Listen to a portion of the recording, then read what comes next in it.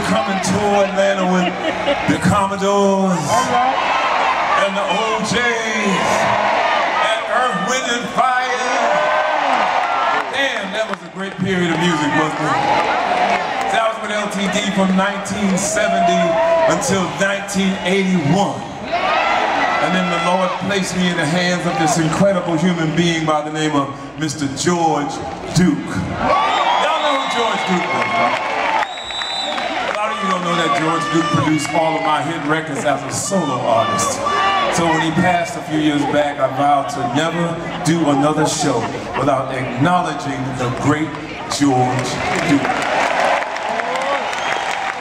So I'm about to do one of these songs that George produced. I'm just gonna sing it. I think you heard it a little bit before.